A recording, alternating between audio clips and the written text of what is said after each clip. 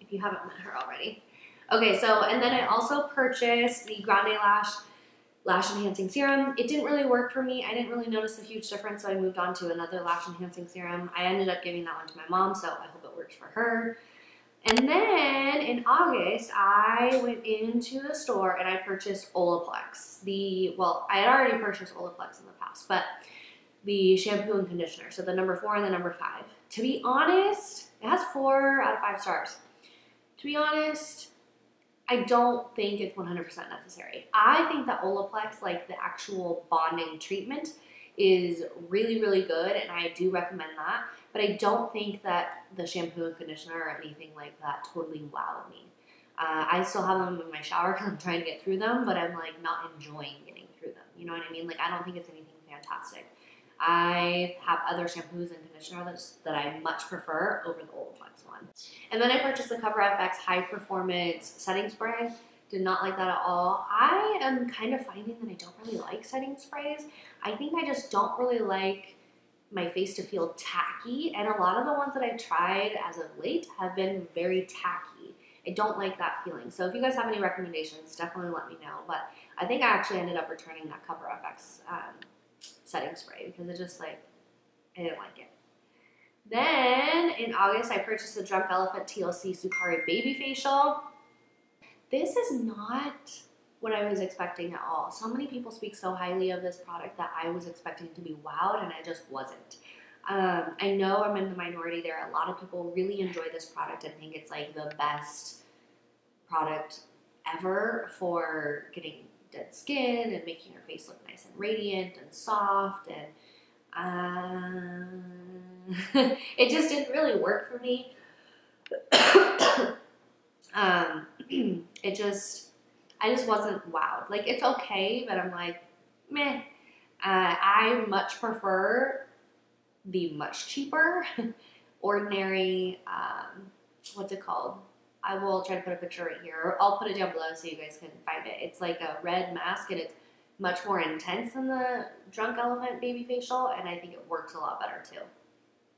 Then I purchased the Drunk Elephant TLC Glycolic Face Serum and this would have been the second time that I purchased it. I think that it's a really good product.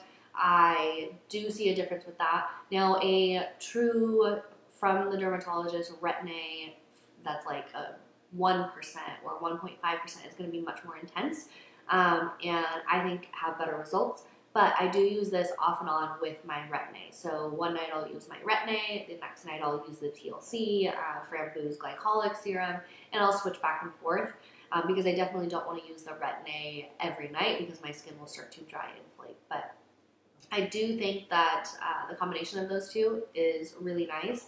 But if you have more sensitive skin or can't, you're not ready for a Retin-A just yet, then the Drunk Elephant is a good option. I also purchased the Drunk Elephant Protini Polypeptide Moisturizer. Uh, I remember my mom purchasing this and she was like not that wild about it, but I really like it. I do feel like it makes my face look very radiant and plump and I don't know, more even toned, I guess I could say. Uh, I've had pretty good luck with this Drunk Elephant Poly proteiny moisturizer. So uh, I still have it and I use it every other night probably. And I think that it's a, a great moisturizer. Uh, the Sephora Collection Pro Drawing Blending Brush. This is something that I purchased not for eyeshadow, which I think some people do. I purchased it for highlighter. I wanted something that was small enough so that I could highlight in more precise areas because I don't really like to use a big brush for highlighting. I don't want highlight all over my cheek because then I just look greasy, or at least I will in an hour once my oil production kind of catches up. And so uh, this brush is great for precise highlighting. That's what I use it for, and I think it's fantastic. So I would highly recommend that if you're looking for a brush for more precision, precision work on your cheeks. And then uh, Jouer Cosmetics Powder Highlighter in the color Citrine. This was one of my favorite purchases throughout the entire year. I absolutely love it. I think it looks beautiful on the skin. Unfortunately, that's not what I'm wearing today, but it is very similar actually to the one that I'm wearing today. I'm so congested, you guys, I can't handle. I need to get through this quickly. I purchased the Jouer Cosmetics Blush Bouquet in like the blush duos in the color Adore. It was a matte, warm, dusty peach. and a shimmering warm blush. One's more shimmy, one's more matte, and then you, you well, I always put them together. And I think that it's pretty. However, after this, I purchased the Charlotte Tilbury blush in Ecstasy, which is also a peachy blush, and that's the one that I prefer over the Jouer one. So I am wearing the Charlotte Tilbury Ecstasy blush today, and I, I seriously wear it every single day. So, but I'll get to that, I think, later on in this video. Hourglass Caution Extreme Mascara. Uh, at first, I really loved it, and then I kind of felt like, eh, it didn't, it wasn't, like, it was definitely volumizing, but it wasn't giving me, like, it wasn't doing my lashes justice, especially after I started using a serum and letting them, like, really grow and get long. I didn't feel like the Hourglass mascara was showing how long they really were. So it's good, but it's not my favorite. The Ouai Wave Spray I purchased September 1st. I really like that stuff. I didn't use it today because my hair is freshly washed, but I would use that on like second or third day hair just to give my hair more texture and more pieciness. And so if you have like a shorter haircut like me, then I definitely recommend that Ouai Wave Spray. I think you'll like it. Tatcha the Silk Canvas. I hated this primer. Like I I just don't understand the hype. To me, it didn't really, like, it made your skin feel smooth, but it didn't really blur my pores or fill in my pores or anything like that. It definitely didn't make my makeup last any longer. I just really did not care for this at all. And, um, so yeah, not my favorite. Uh, Isle of Paradise Over It Magic Self Tan Eraser. I purchased this after a self tan catastrophe and it didn't do like nothing at all. So the idea about it behind it is that you're supposed to spray it on your self tan and then you should be able to like kind of wipe it away with a washcloth and it just didn't really work at all. Um, I think it would probably work if you were like on the last day of your self tan, you've had it on for a week and it's getting all like really patchy, then I think it would work for putting it on there and rubbing it off. But I was more wanting something to like totally erase uh, like you know when you get like orange wrists and things like that on a fresh tan that had just developed and for that it was it didn't work at all. Uh, I purchased the Boscia black charcoal like blotting linens. I use those all the time. And then I also purchased the Ole Henriksen cold plunge pore mask. This was okay. I have other masks that I prefer over this one, but this one's just kind of fun because it's bright blue um, it does feel very cooling on the skin, which is kind of a nice calming sensation. Uh, I just don't know if I, I have other masks that I have more like visible results after even just one use than this one. Another thing that I purchased is, and this is in September, was the Milk Makeup Kush Fiber Brow Gel. This is in the color Haze. I actually do really like this. I think that this is better than the Benefit one, the Gimme Brow. I think it gives your brow hairs more volume and it does make your brows look fuller than they really are and I think the color is really good for us blondes. And then this is when I got super excited because I found the Too Faced Born This Way uh, concealer. I got it in the shade Vanilla and I absolutely love this concealer. I still do. It's what I'm wearing on my under eyes today.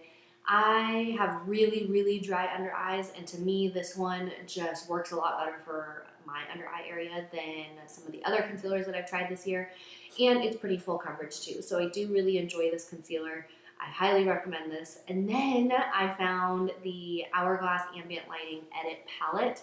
I actually did a whole review on this palette and I loved it. I won't go crazy over it just simply because it's not available anymore, but I use that palette almost every single day. And then I finally got my hands on Charlotte Tilbury's Matte Revolution lipstick in the color Pillow Talk. I absolutely love this lipstick. I think it's the perfect color. I love the texture of it. Love the formula. It lasts a decent amount of time on my lips. And I've really been enjoying using regular bullet lipsticks lately. So this is definitely a win. If you haven't picked up any Charlotte Tilbury lipsticks or specifically this color in Pillow Talk, I highly recommend it. I think that it just is like beautiful.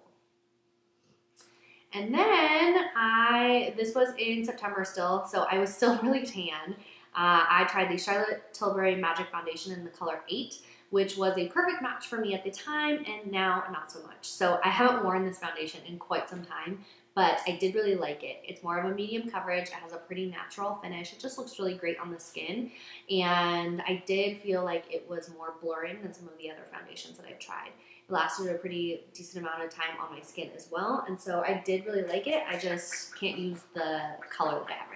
And then I also tried the Charlotte Tilbury Hot Lips lipstick in the color Kim KW. This is like a really light nude and I really wasn't a fan of this one.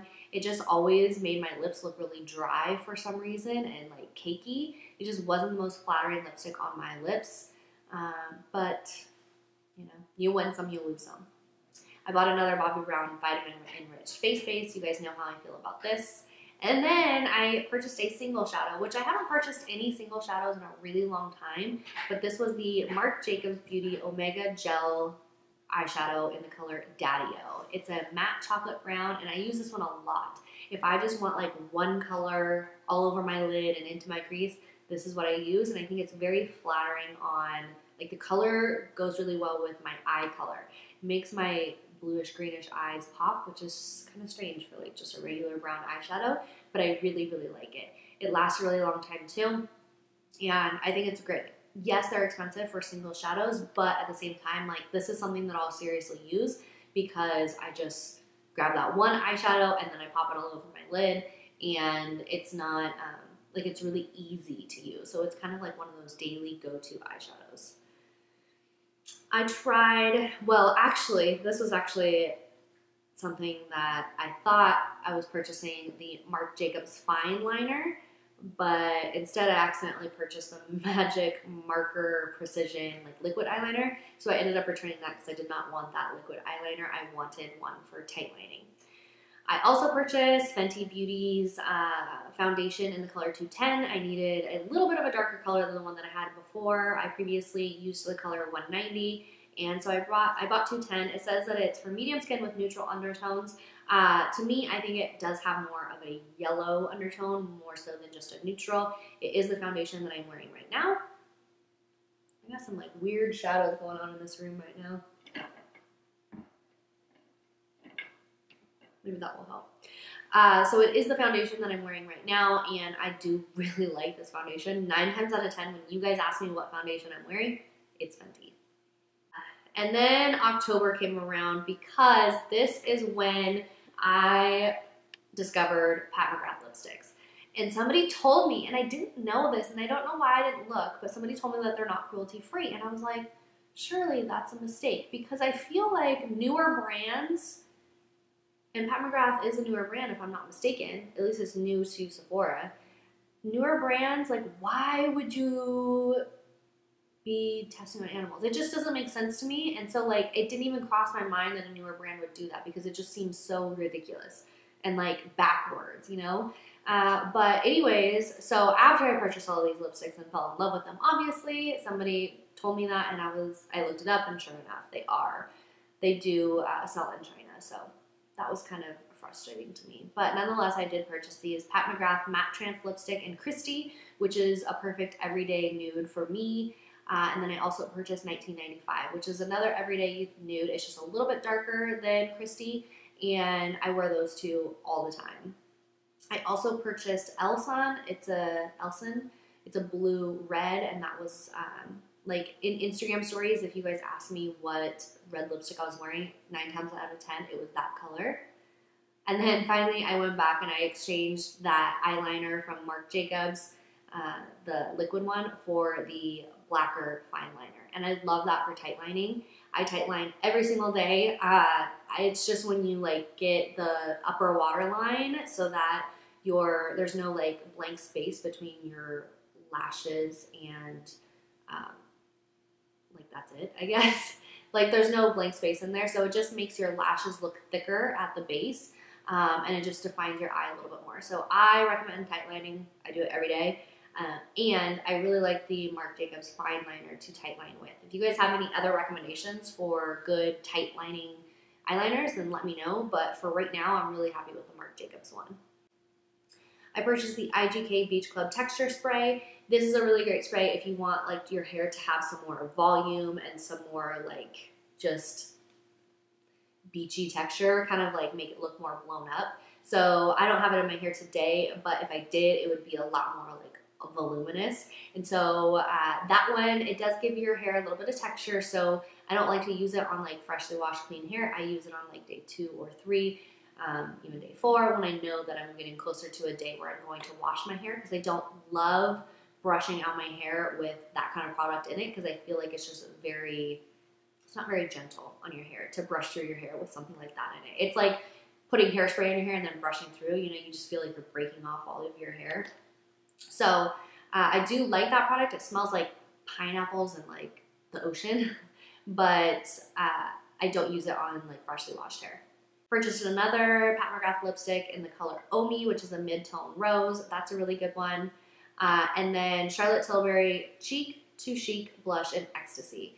I have worn this nearly every single day since I purchased it on October 22nd, or 27th, sorry. So I think that this blush formula is amazing. I love that it's a little bit of shimmer, just enough to give you like a nice gleam on your cheeks, but it's not anything like glittery or too highlighty. And the color is just enough, so you're not gonna put too much color on your cheeks, but at the same time, they're pigmented. I just, I can't say enough good things about these Charlotte Tilbury blushes. And this color Ecstasy is just like the perfect peach blush ever. I also purchased another Charlotte Tilbury uh, lip liner in the color Pillow Talk. I've purchased that before in the past and I really enjoyed it and went through the entire thing. So I purchased that again. And actually, Pillow Talk is what I have on my lips right now. I'm wearing Pillow Talk on my lips with this Fenty chewed up lip gloss in the color Fussy. So this is the new Fenty gloss and I really like that combination. Uh, and then I purchased the L'Occitane cleansing and softening like almond uh, gel, like shower gel as, along with the almond uh, body oil. And I really do like both of those. They, they're very luxurious feeling. So when you feel like you deserve like a really luxurious bath or shower, then I would highly recommend those products. They feel very expensive and um, they also make your skin feel very, very soft as well. The only thing I will say is that I feel like the cleansing gel, the shower gel, you can go through that real quick if you're not careful. So um, I like both of those products though.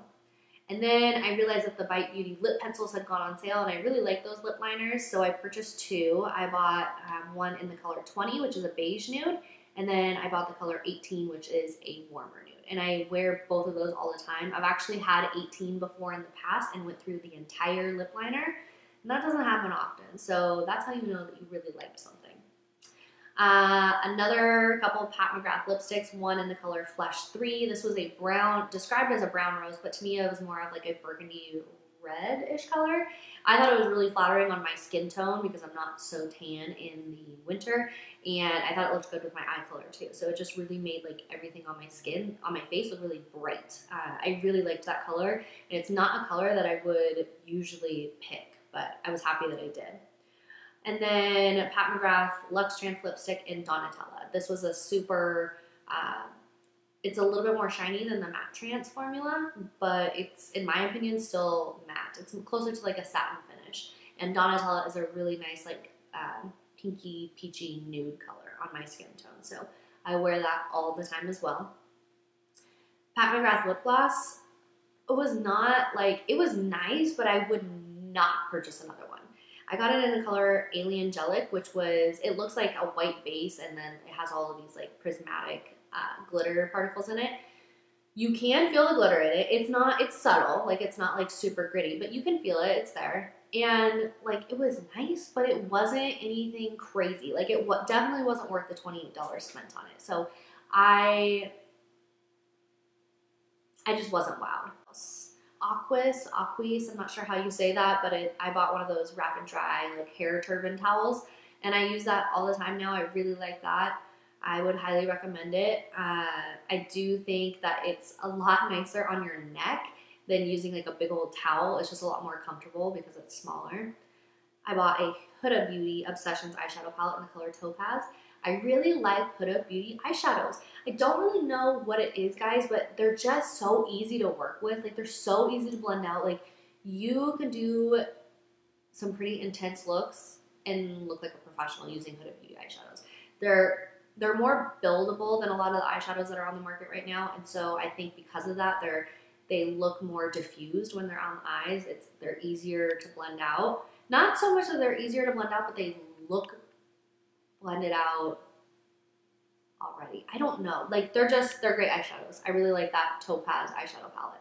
So then I also purchased the Huda Beauty, the new nude palette. This is a great eyeshadow palette as well. This is just a fun palette. If you're looking for something that's a little bit out of your normal like neutrals range, even though it's called new Nude, they're more like pink and purple colors with like little pops of gold and rose gold here and there. Uh, the shimmers in that palette are really beautiful and they're fun to work with. And again, I just think that the whole palette is very well thought out and it's just, it's really pretty and it's fun and it's easy to use. So uh, for that palette, like I always feel like you can use this color and this color and this color and it's gonna look good. Uh, like all the colors work together very well in that palette. I bought some Cinema Secrets makeup brush cleaner. I really like this stuff when I'm doing like mostly videos and I want to use the same brush, but I've already used it with like a black eyeshadow and I want to use it with a purple eyeshadow. Excuse me. It's really easy to just swirl your brush in some of that solution, like just kind of tap it out and it'll be dry in like 10 seconds. Ouai hair oil. This is the oil that I ended up purchasing after the Ghost oil. Uh, remember the Ghost oil I said was very thick? The Ouai hair oil is super thin. Like it just looks like water coming out. Um, it still obviously feels like an oil and it is an oil, but it's very, very thin. So there are just two different types of oils. This one, it's a little bit more yellow than like totally clear, but it's not amber like Moroccan oil or something like that. So I've recently started uh, using this hair oil because I had just finished up my Ghost oil and I actually really like it. Because it's so thin, I think that like you seriously only need one pump and that's gonna be enough for your whole head. Um, but it's not gonna make your hair like look greasy. It, it does do a good job of making it look shiny and look healthy, but I think it would be really hard to go overboard on this oil. So I like it. I bought a sample size of the Milk Makeup Kush High Volume Mascara, and it was okay. Um, it does smudge a little bit. I noticed because I have oily eyelids and my eyelashes are a little bit longer right now. Like if I look up constantly, like I'll get the little dots on my eyelids with that mascara. And so I don't love that, but I do think it's really volumizing. The thing about this mascara is even the the sam the small size, like the deluxe size sample, the one that you can purchase, it is so heavy. Like it's so the container is so weighted. It feels very luxurious. Like it seems like it would be much more expensive than it really is, but uh, it does do a good job of volumizing. I just don't know if it's like the best mascara in the world for my eyelashes. I bought another um, ABH Brow Wiz in the color taupe. I bought a November Glow Recipes Blueberry Bounce Cleanser. I was just in the mood to try a new cleanser. In the past, I've used like CeraVe cleansers and been totally fine with that. I don't know, I just felt like splurging on a new cleanser, which usually I don't do, but this one was nice. It definitely smells like blueberries. It's a it's a nice experience when you're washing your face, but I don't know if it's anything special. I don't think that I would purchase it again just because it's just a cleanser. I don't know. It was $34. I don't know if it was really worth $34 in my. This, okay. This is one of my favorite purchases throughout the entire year. This is the Lancer The Method Polish. And this is like the one that's more for like acne or blemish control polish. It is so good, you guys. It's very, very abrasive sounds very bad, but it's it's uh, it's definitely an exfoliator. Like it's very very gritty, but I love that. Like I think that feels so good on the skin, and it really feels like you're getting all that nasty dead dry skin off of your face. Your face looks very radiant when you're done, and it just it's a really nice experience to use. Plus. There's a lot. I feel like that is going to last me forever. There's a lot of product in there, and you only need like the smallest amount smells like peppermint. So if you don't like that, then, or if you find that to be irritating, then you're probably not going to love it. But I think it feels like it's a very invigorating experience to use that uh, exfoliator. I love it. I ended up buying a GHD uh, hair flattener, hair, what are they called? Hair straightener, flat iron. Uh, because I am trying to teach myself how to curl my hair using flat iron. So this is what I did today. I like it just to have like a little bit of bend to it. I don't like it to be super like curly. And so that's kind of what I'm like trying to figure out right now. I really like it when it just has a little bit of a bend and it's straight at the ends. And so I did a much better job on this side than I did on this side, but it's okay. I'm learning right now. I've never been good at using a flat iron to curl my hair. I just bought a couple gifts on here. Uh, and then now we're into December. So these are like the last purchases that I made. Uh, the Fenty Gloss Bomb in the color Fussy. Well, I purchased that and then, well, I purchased two because I purchased one for me and then one was a gift for my mom. And then I purchased the uh, Marc Jacobs Enamored Hydrating Lip one in the color One Mauve Time for my mom as well. And I also purchased a beauty blender. You guys know how I feel about beauty blenders. Well, I went home, I wrapped the gifts for my mom, and that was what Sunny got under the tree. So she not only got like the gift open, but she also got the lip gloss out of there and just totally destroyed it. So that's why now I have two lip glosses of Fussy, and one of them looks like this. So, um, anyways, so then I had to go back to Sephora and I had to buy another one to um, give to my mom. And then when I was in there, I ended up just buying that same gloss, but in the color Diamond Milk as well. So I wasn't really the biggest fan of the first Fenty Gloss Bomb. I think it was just the color I was kind of like eh about. But I do really like Fussy and Diamond Milk. Diamond Milk looks really good over like just a lip liner and um, that lip gloss. I really like that look. Uh, and then the Fussy looks good over anything. Uh, that one can also be worn on its own, and I think it's really pretty. So Fussy is what I'm wearing right now. It's been quite a while since I applied it, but uh, I like the applicator on these too. So, I don't know. Hopefully you can see it. It's really pretty and it's really comfortable. Uh, I think that the best way to use those lip glosses is just putting on a lip liner, filling in your lips with it, and then putting the, the gloss on top. I think it's just a really pretty look. And that is it. That is every single thing that I purchased for the entire year. So, yes, I purchased a lot. I had some gifts in there here and there. Uh, but I do think that overall, it was less than last year. Uh, if you notice, and I didn't say the dates of every single thing I purchased, but pretty much I only purchased like three like big times throughout the year, and that was when they were having sales. So I'm trying to be more conscious of that. So that's one of my goals for 2018 is just to be more conscious of my spending, especially on stuff like that. So uh, I hope you guys enjoyed this video. I hope some of you found it helpful at least. Um, because there's tons of little mini reviews in here. I saw Jacqueline Levine, is, I think that's her name. Uh, she has a YouTube channel here, and I saw that she did a video like this, so I'll link her channel down below so you guys can find her. Uh, I think she was the one who started this, but I'm not 100% sure. So if you guys do know who started this, then just let me know down below, and I will put their uh, channel in the description box. I am off for a couple more weeks from work, so if you guys have any video requests, please let me know down below. I will try my best to get to those before I go back to work in January. So I hope you guys are having an awesome day, and I will see you soon. Bye!